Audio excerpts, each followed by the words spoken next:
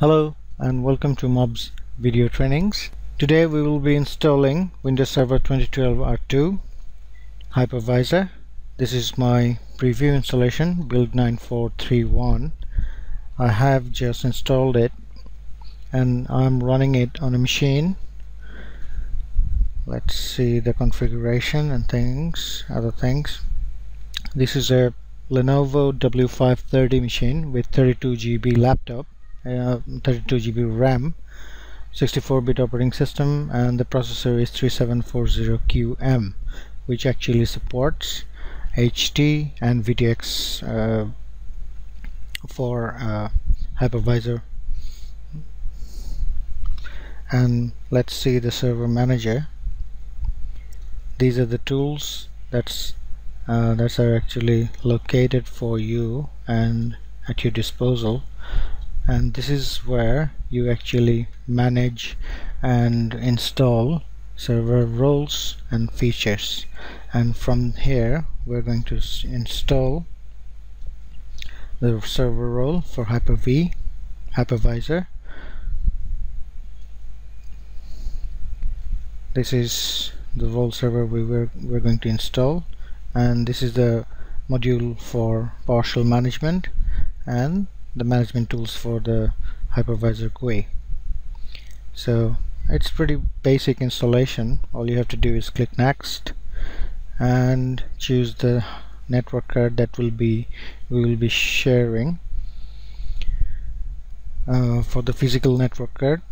And it will be piped to have all the hypervisor that uh, gets installed into the Hyper-V manager.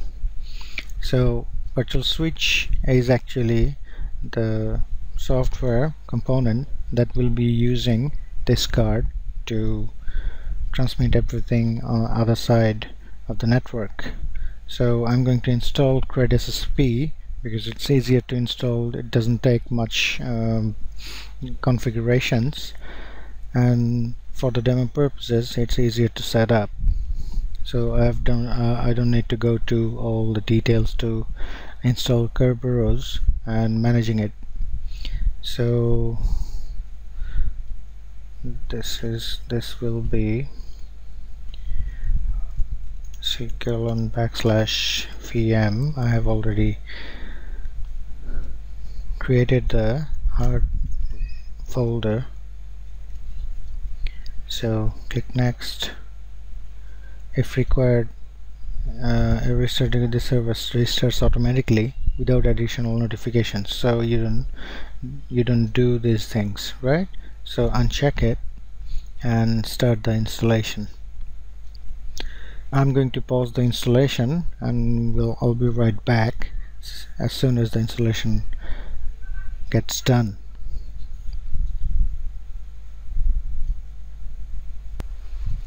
and the installation for the Hyper-V for the management tools and the power for all the tools and the GUI management tools has been installed. So as you can see a restart is pending on the machine. So let's close it and let's see the server manager what actually saying. It's not showing up over here on the machine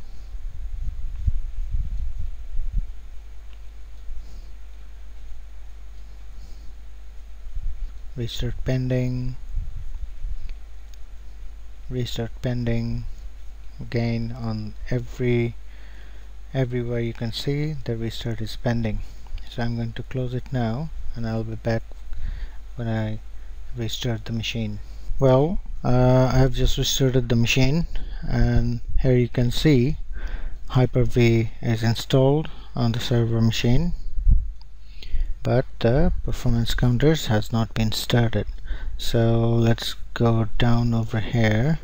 Server name start performance counters. So it will be waiting on the data of the performance of the machines. So you you can you can do uh, um, all the installation options and uh, set set set the performance counters as you like the BPA it will be coming up as soon as you install SCVMM and started managing. So let's have a look at the server manager. Sorry the hypervisor the Hyper-V manager. There it is. This is the virtual machine connection. You can uh, connect to the virtual machines that are running. And this is the actual manager. So as you can see this is my machine name. These are the panel where you will be installing all the virtual machines. These are the checkpoints and the, all the details would be coming on on this pane. And this is the point where you need to get to install all your network card. Uh, if it's an inter external network or it's an internal network or private network. Private network would be uh, let's say you have multiple um, virtual machine installed in this machine. So virtual network would uh, private network would be would allow you to install and configure and uh, configure the network cards so that you can you can connect only to the VM no internal network no external connections nothing else. External network would be letting you allowed uh, would would let you uh, go to the internet connect with other other VMs and things like that. And for the host occasionally.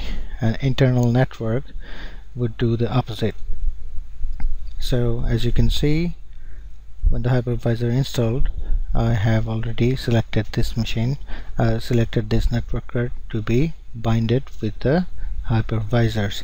So that whenever you can you install the any VM it will get uh, the all the hypervisors will get the network card by default. So let's start installing a virtual machine. Uh, first click on the machine say um, Win2K12 R2 data center. Store the VM in this in this location this will be the generation 2 64-bit versions and all the supporting uh, options for secure boot, SCSI boot and PXE boot for the network adapter. So make sure that you select generation 2 for the upgraded options. Click next. I'm going to install uh, 8 gigabytes of memory. I'm not using the dynamic memory so it expands as it requires so I'm limiting it to use 8 megabyte 8 gigabyte right now.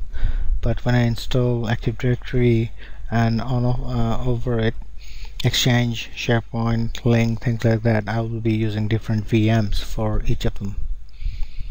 Connections. This is where you select the network card. Click next. I will be needing not more than 50 GB of the space and operating system installation. Let's select the operating system over here. On the desktop this is my preview.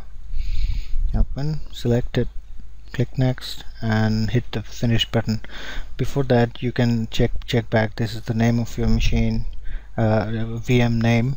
That's the generation type of the VM that's the RAM requirements that I set earlier. That's your network card. That's the hard drive. It's going to look you install all the files into that location on the VM so you on backslash VM and will be installed from the ISO image I already provided. Click finish.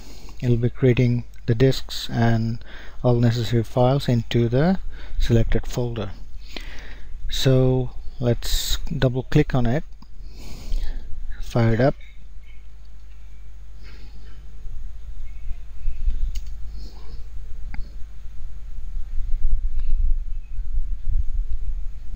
And the hypervisor.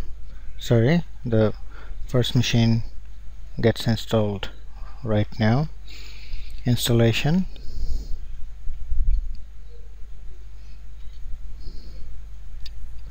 since this is a uh, trial machine and all the trial keys are actually produced from the Microsoft site just copy it.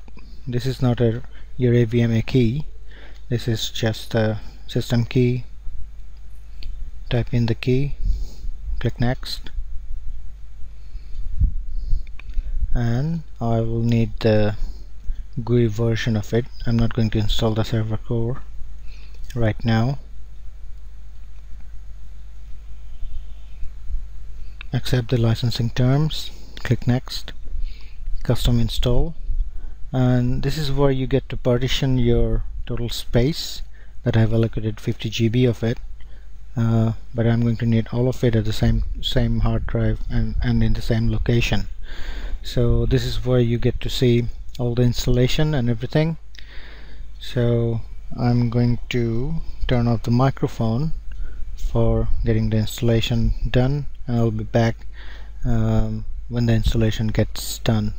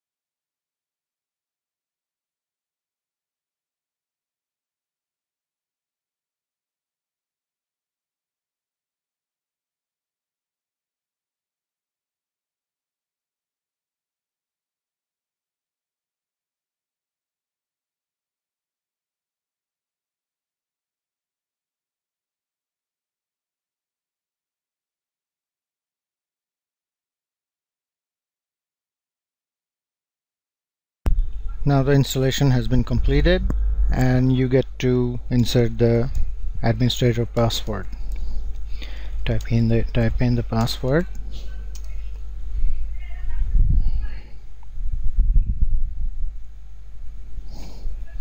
And there's the three finger salute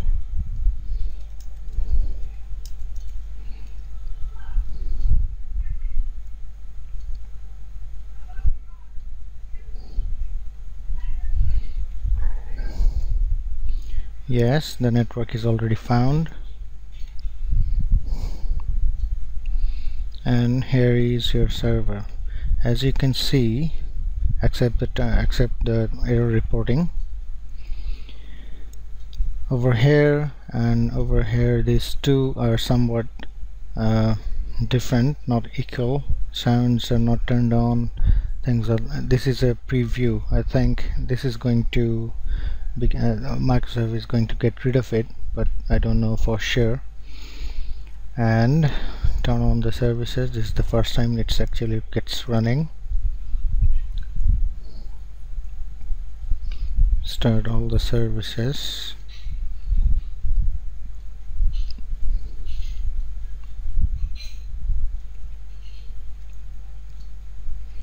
Okay all the task has been done.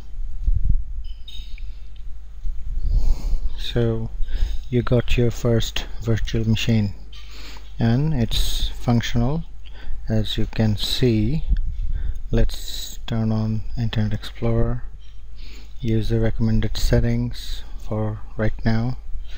You'll get the security configuration is enabled. So this is a server. It's not meant to get to the internet anyhow other than you manage it by uh, software update services so that you don't get to need, uh, get to you don't need to uh, go to the internet.